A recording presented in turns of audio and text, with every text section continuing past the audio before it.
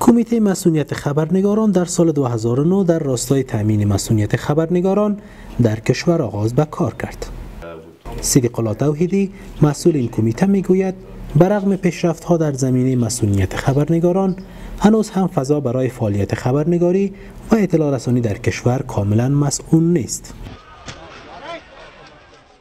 کمیته مسئولیت خبرنگاران می‌گوید که در سال 2018 میلادی 121 قضیه خشونت علیه خبرنگاران و کارکنان رسانه‌ای به ثبت رسیده است. در این سال 17 خبرنگار در جریان پوشش رویدادها کشته شدند.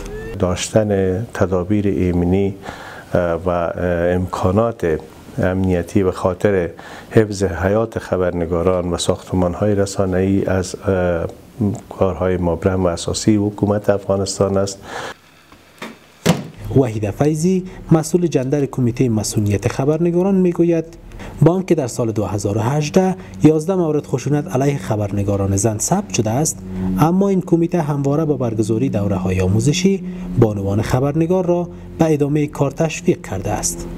کمیته مسئولیت خبرنگارا یک پلیسی به نام پلیسی مناظر اذیت جنسی بر زنا خبرنگار ساخت که در سال گذشته ما با خبرنگارای زیادی در ولایات و در کابل نشستای داشتیم. در مورد این پالیسی برشان معلومات و آگاهی دهی دادیم و فعلا بر دادخواهی پالیسی کار می‌کنیم که این پالیسی جزئی از قراردادهای کاری رسانه ها شود. کمیته مسئولیت خبرنگاران در حفظون کشور نماینده دارد.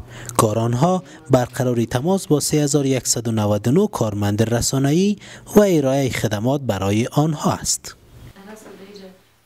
ماده 34 قانون اساسی افغانستان. آزادی بیان از تعرض مسئول است. هر افغان حق دارد فکر خود را به وسیله گفتار نوشتار تصویر و یا وسایل دیگر با رعایت احکام مندرج در این قانون اظهار نماید.